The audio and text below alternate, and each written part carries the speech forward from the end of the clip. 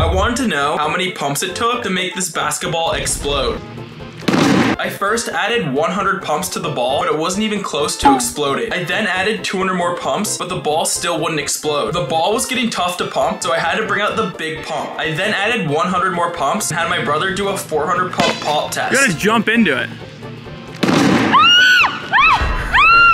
Make sure to like this video and comment down below what I should pop next.